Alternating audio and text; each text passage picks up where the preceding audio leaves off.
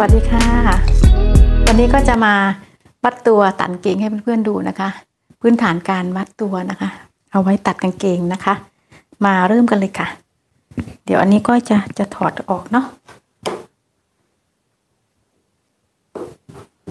เอาเป็นเส้นใหญ่แทนนะคะสมมติว่านี่เป็นขอบกางเกงนะคะ สมมติว่านี่เป็นขอบกางเกง เป็นขอบกางเกงที่เรากำหนดขึ้นมานะคะ ตรงเอวเลย เป็นกางเกงเอวสูงนะ เป็นกางเกงเอวปกติของเรานี่แหละค่ะเอวปกติของเรานะคะ อันนี้เป็นขอบกางเกง วิธีวัดนะคะ ก็เหมือนกับการวัดกระโปรงนะคะ วัดกระโปรงนะคะ เราก็วัดเอวเลยค่ะ เราก็บอกลูกค้าว่าอย่า อย่าขมแมวนะคะ ปล่อยหายใจตามสบายค่ะ วัดตัวอย่างนี้ค่ะ ให้พอดีเอานิ้วเอานิ้วชี้เราสอดเข้าไปนิ้วหนึ่งแล้วก็นิ้วโป้งนะคะ เรากดเข้าไปแล้วก็หมุนอย่างนี้เลยค่ะ พอวัดเอวเสร็จนะคะ เราวัดสะโพกเล็กเลยค่ะ ลงมาเลยค่ะ คือสะโพกเล็กสะโพกเล็กวัดลงมาเลยนะคะ สายวัดให้ตรงนะคะ สายวัดอย่าให้เขาห้อยลงไปนะคะ ให้อยู่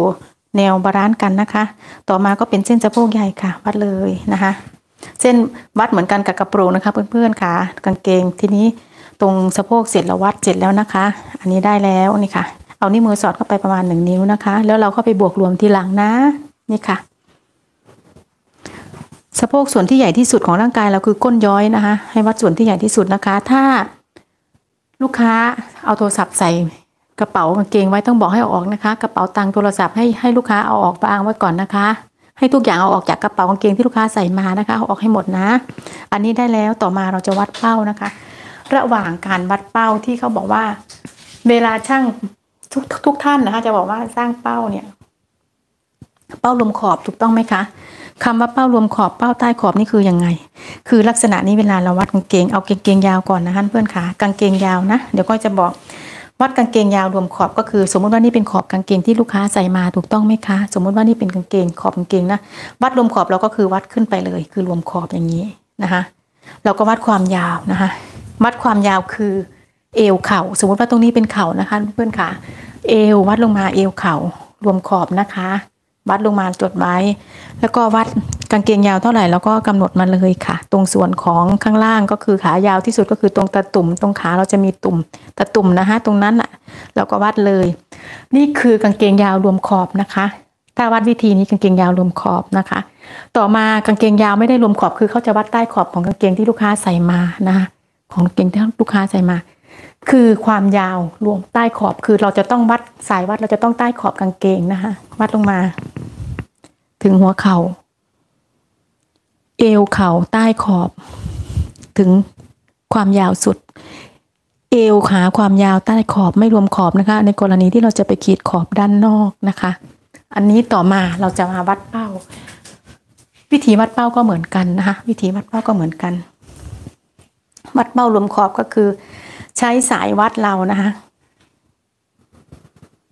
เหนือขอบตรงขอบเนี้ยพอดีขอบเลย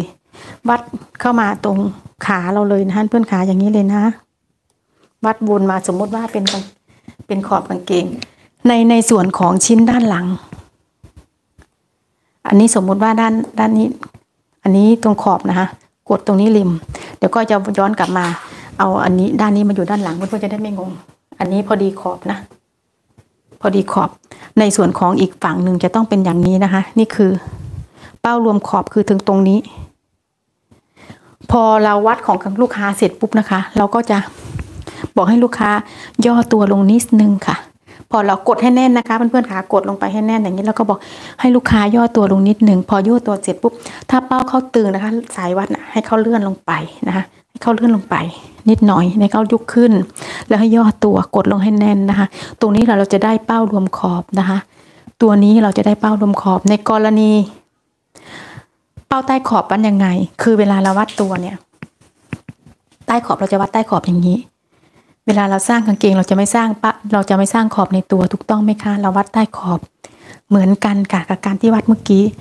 วนมาเลยค่ะ ใต้ขอบอยู่ตรงนี้นะ ด้านหลัง ตรงนี้ เหมือนเดิมเดี๋ยวก็จะย้อนนะคะ เดี๋ยวก็จะย้อนการวัดเป้าใต้ขอบนะคะ สมมุติว่านี่เป็นเป้ากางเกงเนาะใต้ขอบ ตรงเส้นนี้ก็ต้องอยู่ใต้ขอบคือตรงบริเวณนี้ เราได้ตรงนี้เสร็จนะคะกดด้านหลังและด้านหน้าให้แน่นนะคะ แล้วบอกลูกค้าบอกให้นั่งย่อตัวลงนิดหนึ่งนะเราย่อตัวลงนิดหนึ่งถ้ามันตึงไปสายวัดเราก็เลื่อนลงถูกต้องไหมคะ เลื่อนลงนะคะ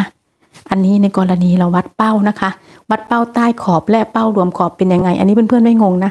พอเราวัดเป้าเสร็จนะคะเพื่อนๆคะเราดึงสายวัดออกมา อันนี้สมมุติว่า อยู่ด้านนอกอย่างนี้นะ อยู่อย่างนี้นะ สมมุติว่าเรารัดวัดเป้าทุกอย่างเสร็จแล้วนะคะ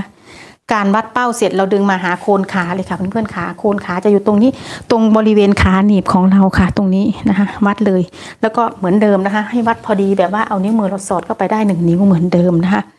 โคนขาตรงนี้นะคะเพื่อนขาดึงเลยนะคะ สายวัด พอเราวัดโคนขาเสร็จมาตรงหัวเข่าเลยค่ะเพื่อนๆขาเราก็วัดหัวเข่าสมมติว่านี่เป็นหัวเข่านะคะ วัดพอดีเลยนะคะ หัวเข่าแล้วเราก็ไปบวกรวม พอวัดหัวเข่าเสร็จปุ๊บนะคะ เพื่อนๆขาเราก็จะวัดตรงปลายขา ถามลูกค้าว่าต้องการปลายขาเท่าไหร่ ในกรณีที่วัดกางเกงขาเดฟนะ อันนี้ก็ไม่ได้เอาเก้าอี้มาให้ดูเนาะวัดกางเกงขาเดฟที่ว่าวัดพอดี คือใช้วิธีเราขย่งเราขย่ง ขย่งขาขึ้นแล้วใช้เชือกวัดเนี่ยคล้องตรงส้นของเรานะคะตรงส้นของเราอะให้พอดีประมาณนี้เขย่งขึ้นอย่างสมมติว่านี่เป็นส้นนะเป็นส้นเราเขย่งขึ้นไปอย่างนี้ให้เขาอยู่ระดับเนี้ยเราเขย่งขึ้นไปอย่างนี้ค่ะคือขาเดฟนะคะเวลาเราใส่เราถอดเราจะได้ง่ายหน่อย อันในกรณีของวัดปลายขานะคะ อันนี้เพื่อนๆไม่งงเนาะในกรณีการวัดกางเกง งงกันไหมคะเนาะอันนี้ก็ว่าก็อธิบายให้ให้ละเอียดอยู่เนาะไม่งงนะวัดเป้ารวมขอบ เป้ารวมขอบก็คือ ตรงนี้ขอบด้านบน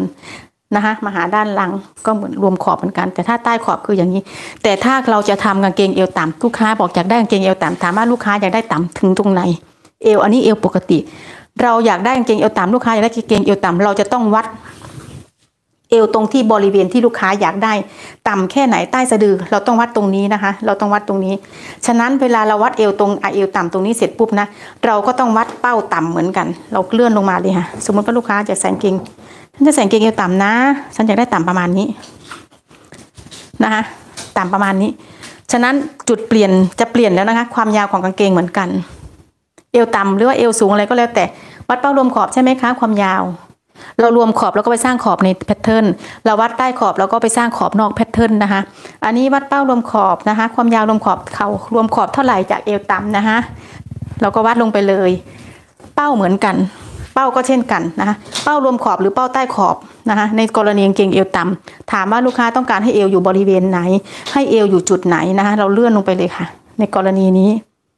นะคะ ตรงนี้ไม่งงนะ ถ้าเป็นกางเกงเอวต่ำจะต่ำตรงไหน พอกางเกงเอวต่ำตรงนี้ปุ๊บเราจะต้องวัดบริเวณเอวตรงที่ขอบกางเกงที่เราจะให้เขาอยู่แล้วนะ เราจะต้องวัดเอวใหม่ เราจะไม่ใช้เอวด้านบนแล้วนะ เพราะฉะนั้นจะไม่ใช่เอวต่ำแล้วเพราะว่ามันฟิต ยังไงก็จะดึงหิ้วขึ้นมาอยู่แล้วนะคะ กางเกงเอวต่ำเราก็ต้องวัดบริเวณที่เราต้องการให้เอวเขาอยู่นะ อันนี้วิธีวัดกางเกงเอวต่ำนะ กางเกงหรือกระโปรงอะไรก็แล้วแต่เหมือนกันนะคะการวัดเอวต่ำอันนี้ไม่งงเนาะ เรียบร้อยแล้วนะคะเพื่อนขา หวังว่าคลิปที่ก้อยทำคงจะเป็นประโยชน์เนาะไม่มากก็น้อยนะคะ อย่าลืมกดไลค์กดแชร์ เจอกันใหม่คลิปหน้าค่ะ สวัสดีค่ะ สวัสดีค่ะ